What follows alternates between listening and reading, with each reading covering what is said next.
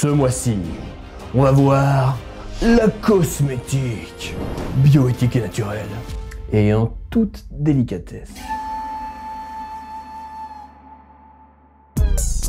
Ça sent pas pareil? Ça sent bon d'un coup.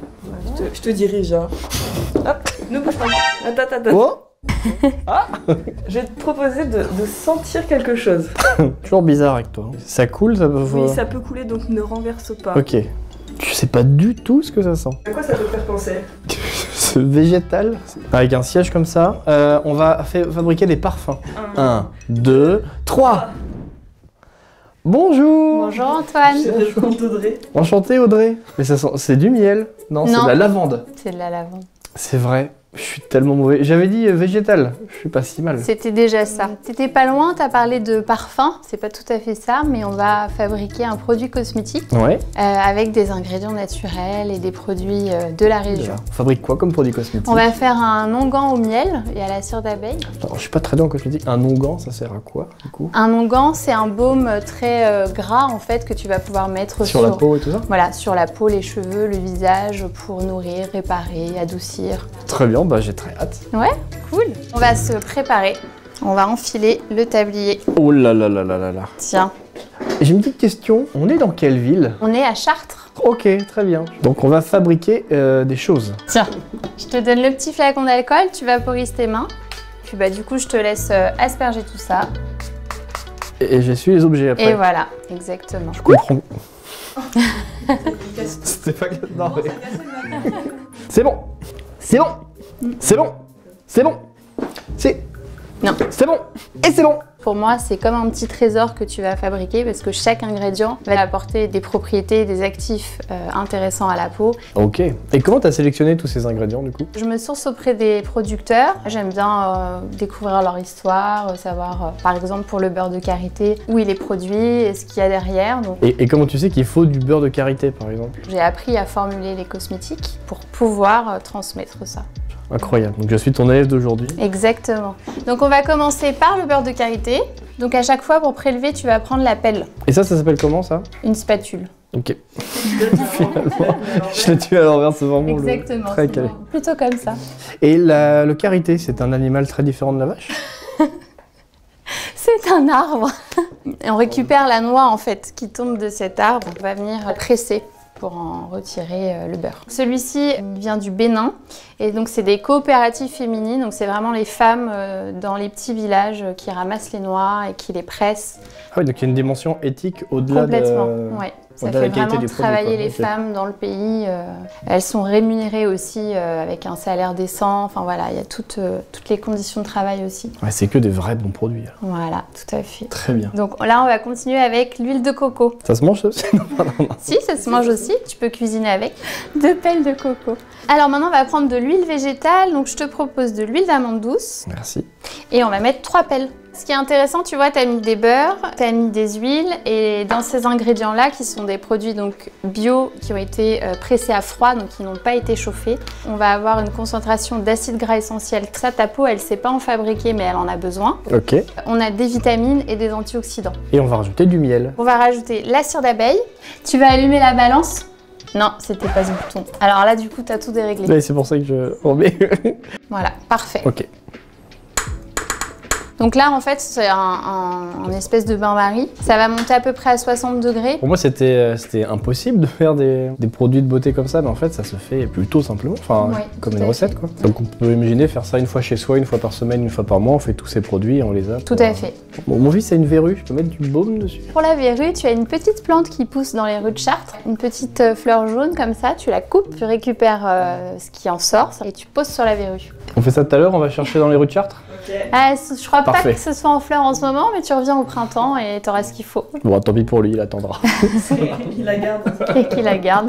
tu vas prendre ta spatule, puis tu vas mélanger un petit peu. Ce qu'on veut, c'est que surtout euh, que la cire d'abeille soit fondue. C'est magnifique l'intérieur. Ah là là, si seulement une caméraman pouvait voir, ce serait, euh, vous pourriez en profiter. Tu transvases dans ce petit bol. On rajoutera euh, une petite pelle d'huile de chanvre. L'huile de chanvre, elle est très intéressante parce qu'elle est riche en oméga 3 et en oméga 6. C'est une des plus riches d'ailleurs. On rajoutera de la vitamine E pour que ça se conserve plus longtemps. Oh là là là. On dirait une vinaigrette. Tu penses vraiment qu'à manger? C'est clair. Euh, on va ajouter donc la vitamine E dont je t'ai parlé. Ok. Est-ce que je suis euh, meilleur que toutes les personnes qui ont fait jusque-là des onguents dans, dans cette boutique? C'est pas mal. Est-ce que de tous les hommes qui sont venus, je suis meilleur? Oui. Voilà. Alors soit tu laisses comme ça, soit sinon tu vas pouvoir agrémenter. Donc on peut mettre de la lavande, on peut mettre de l'orange douce. Et après j'ai plus fleuri, j'ai de la fleur d'oranger ou du jasmin. Du jasmin? C'est comme du jasmin, mais. Jasmin. Ah, d'accord. Tu vas mettre 6 gouttes également. Ouais, doucement. 3. Ça y est, stop, c'est fini, merci. Ah, J'en ai mis 3 Ah non, non, non, un peu plus. Bah, c'est une grosse goutte la première, Ah ouais, mais. très grosse goutte. Ok. Ok, vas-y, tu peux mélanger avec ton petit fouet. Et je mélange jusqu'à ce que ce soit homogène. Bah là, en fait, il faut qu'on attende maintenant. L'idéal, ce serait de le placer euh, au frigo ou pour que ça fige euh, assez rapidement. Bon, ça doit refroidir et donc on va faire un petit tour de magie. Est-ce que vous êtes prêts? Abracadabra, refroidis-moi ça. Oh bah C'est tout figé Regarde Marion Alors maintenant, Antoine, tu vas prendre ta spatule et tu vas venir euh, mettre ça dans ton pot. Oh là là là là, ça donne faim. Oh, J'en fous de partout, c'est sûr. Et j'ai vu euh, sur la devanture juste ici qui est marqué Slow Cosmétique. Alors en fait, la slow cosmétique, à l'origine, c'est un mouvement qui a été initié par Julien Québec, qui est belge. Julien Québec qui est belge, c'est quand même dommage. Il a raté un truc lui. Donc c'est un mouvement qui a été initié par Julien Québec en Belgique. Sa volonté à lui, c'était d'informer les gens sur euh, justement euh, ce que pouvaient contenir les produits cosmétiques et euh, les ingrédients un petit peu problématiques, les perturbateurs endocriniens, les ingrédients polluants. Et puis il a créé un label, donc le label Slow Cosmétique. Ah donc c'est un vrai label. Donc aujourd'hui, c'est un vrai label et qui est remis à des marques engagées. Et l'idée, c'est de proposer une vision de la beauté, de la cosmétique différente, avec des valeurs bah, de respect de l'environnement, de respect de l'humain dont on a parlé tout à l'heure. Revenir au naturel et contrôler un peu ce qu'on met sur soi en fait. Exactement. Qu'est-ce qu'on peut trouver d'autre du coup dans la boutique? Tu vas trouver plein de petites marques euh, de producteurs que j'ai sélectionnées. J'ai l'impression de connaître ces produits sauf ceux qui sont en bas. Ah mais c'est si, c'est des shampoings solides, Oui, est. c'est shampoings J'ai lu l'étiquette et du coup euh, Tout de suite, c'est... ça m'a éclairé sur ce que c'est. Je sais pas si je te l'ai dit, mais je fais aussi des soins. D'accord J'ai la partie euh, soins derrière. Et euh, après, tu peux aussi chez toi, avec les outils de massage, venir te masser le visage. Par exemple, comment on se sert de comment on se sert de ça Alors voilà, tu vas pouvoir, tu vois, venir. Ah. Et je vois qu'il y en a un qui fait peur. Ça, ça s'appelle un ridoki. Un ridoki. C'est une arme. C'est une arme D'accord. de destruction de rides. Ah oui, ok, ça marche. En fait, tu vas venir travailler, tu vois, sur tes petites rides pour euh, stimuler la peau, stimuler euh, le renouvellement cellulaire. et- Ok.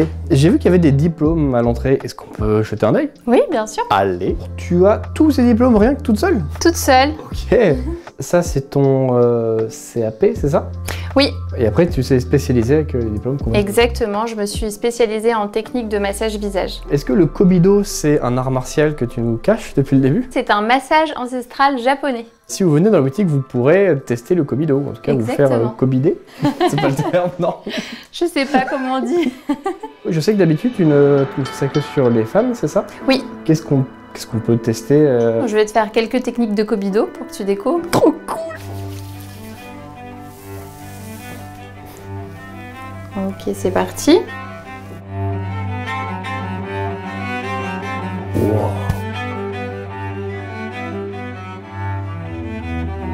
Ah oui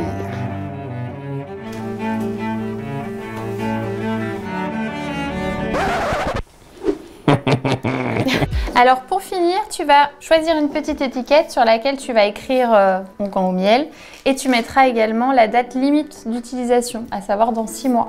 Ok, Onguent, bien sûr, O-N-G-U-A-N-T, on est d'accord. Onguent, O-N-G-U-E-N-T. C'est exactement ce que j'ai dit, c'est parfait. Exactement.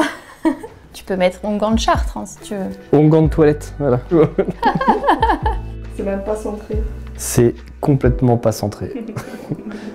Donc si les gens veulent faire eux-mêmes un onguent de toilette ou d'autres euh, formes, est-ce qu'ils peuvent venir chez toi? Oui, soit au cours d'ateliers privés, s'ils veulent partager ça entre amis ou en famille, ou alors euh, on peut aussi s'inscrire sur des ateliers thématiques que j'organise tout au long de l'année. Et donc la boutique, c'est Divine et Bio à Chartres, avec Audrey. Avant de quitter Chartres, Arthur, euh, Arthur. Arthur, plus aucun respect. On a passé 4 heures ensemble à faire des onguents. Je suis désolée. Il faut absolument que tu te balades dans les rues et que tu profites des illuminations. Ah. Parce que c'est Noël. Non, c'est parce que il te reste deux jours pour en profiter. Des illuminations. Oui, des illuminations. Bah, on fonce. Merci beaucoup. Salut Antoine Rentre bien. Ouais, profite bien Merci. On va voir les illuminations Ouais Allez